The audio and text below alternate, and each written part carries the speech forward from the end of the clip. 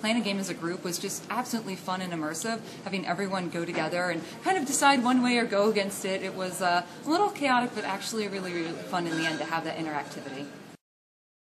Okay, so playing it as a group was really funny. I was like, um, I get it was really, really fun and a great way to get everyone kind of in the mood and together because everyone started off going in different directions and waving around, and then we all kind of coordinated.